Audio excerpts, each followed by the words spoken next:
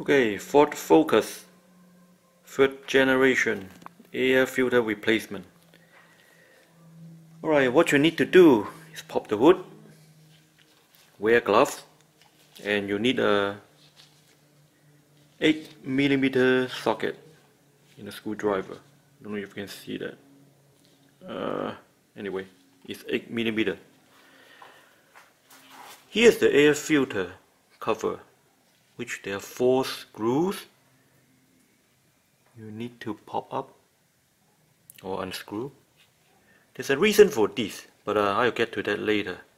These screws are self-retained, so basically you just un unscrew it and it will stay in place. So don't worry about dropping it unless you actually pull them up. And here you go.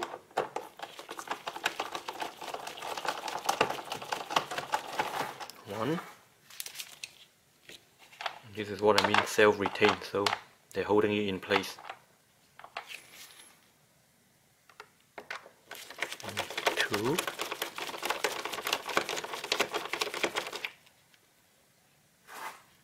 Third one.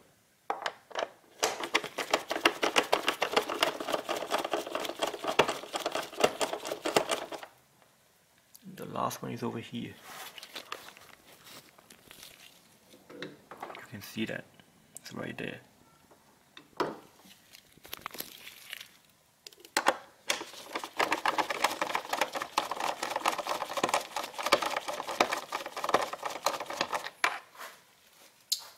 And what I mean the Ford Focus third generation I think is about the model year 2012 and above. But anyway this is a Mark III Focus. Okay now let's lift it up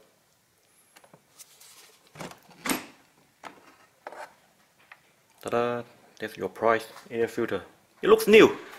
That's because I just changed it, but I'm showing it to you how to change it again. But anyway.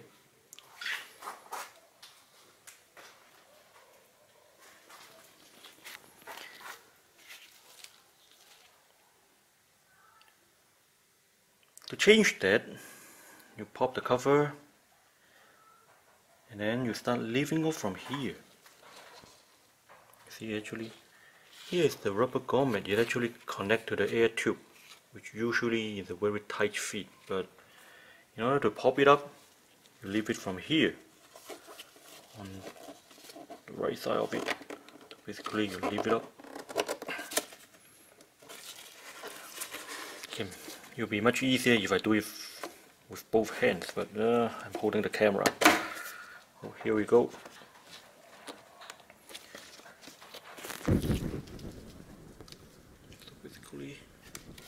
It a little bit here we go. Here is the air filter. It looks huge. It's a radial type. You see there's a notch over there. This is a genuine Ford air filter. I'm not sure about out of aftermarket if they have a notch there or not but anyway there's a reason for that. You see there's a slot over there. So basically when you put it back in you put the slot over there and slot it in now that's the easy part. The hardest part is when you put it in, there's a trick you need to follow in order to do that. Conventional thinking, you probably just drop it in and put it on, but it's not. It's not that simple. Ford doesn't really make it easier for us as a DIY. So in order to do that, again, once you got the new new filter, right? Here is the slot I'm talking about. To slot the whole filter in. And then you need to connect the grommet over there where the computer installed. So in order to do that with your new filter first you put it into the slot first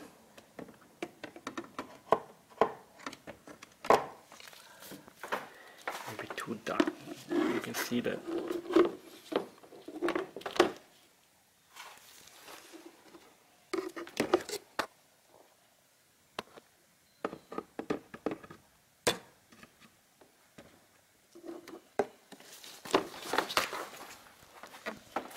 Here we go.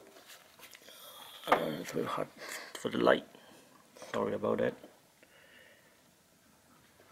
anyway you get the idea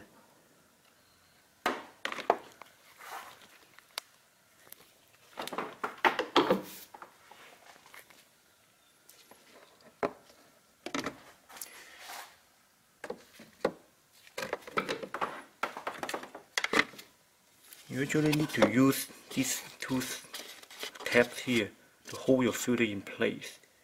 And then you squeeze the filter in to put the neck into the tube itself. You cannot really put the tube first and then slot it in.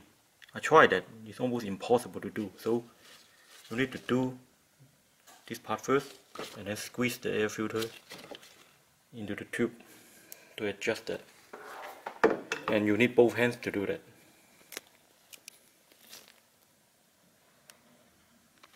Alright, here we go. Put the filter against both tabs and put the slot, put into the slot.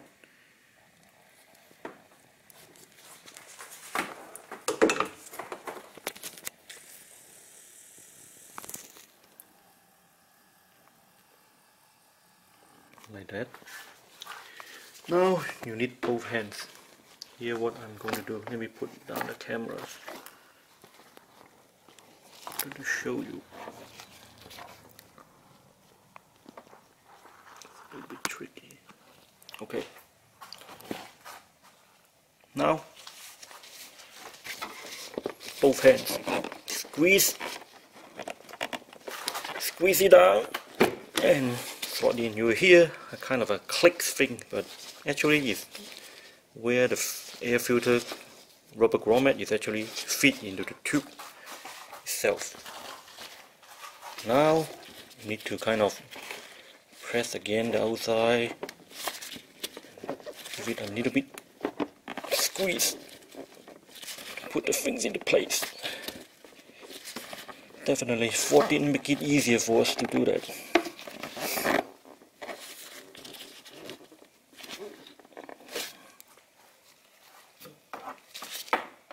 Make sure your rubber neck from the air filter is fully sit against the tube itself which you see here. Now you're almost half done. What next? You can screw in the cover yet because you have one more job to do. Here if you look at it carefully you need you see the slot over there. You need to actually put or, or you need to actually slot the air filter into that groove in order to make it sit correctly. Hope you can see that. Right now it's not yet sit into the groove. So in order to do that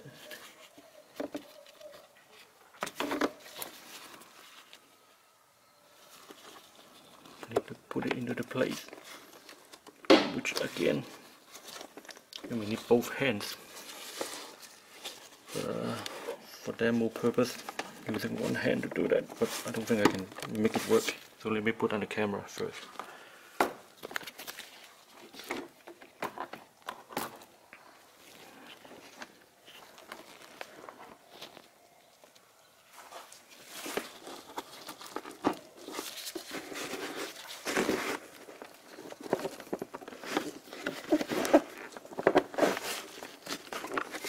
right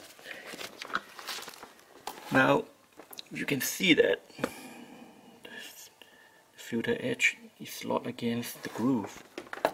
And this is what you need to seat the filters correctly. Back to the base. You see this knot fit into the slot. Yep here we go. Now you're almost done. The last part, put the cover back on. Here's the cover. Again, the filter will need to sit inside the, the cover, but not the outside. So when you put it back in, you actually need to carefully position it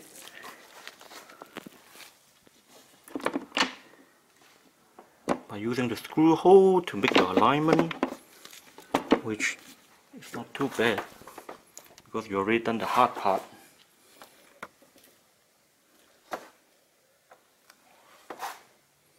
Put the screw and make sure you slot back everything or snap everything back in place correctly. Make sure nothing is going out of place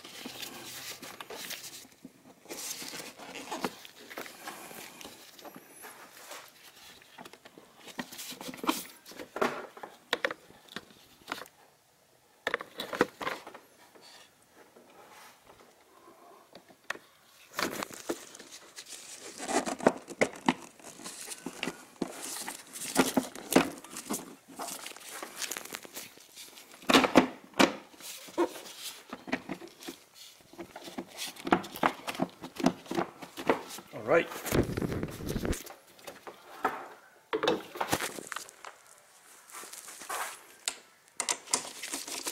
Last part is to screw it back on. Just make it snug is good enough because these are all plastic. So don't over tighten it.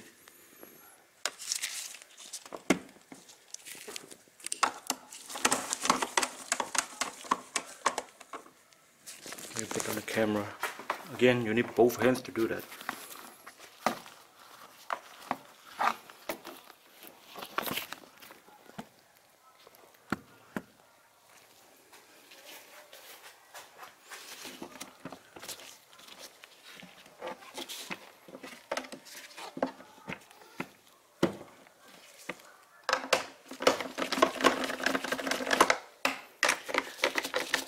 Make sure you put the cover aligned correctly before you screw back all the, put back all the screw otherwise you need to do it again.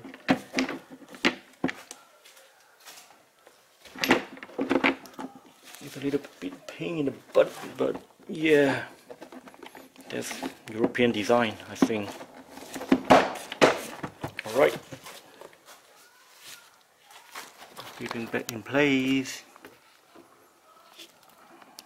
align everything. And again make sure your filter is not sticking out. It should be look like that. It's inside the cover. So last part. Just screw it back on. Four screws. Again just make it snug and good enough. These are all plastics only. So don't over tighten it or you have a bad day.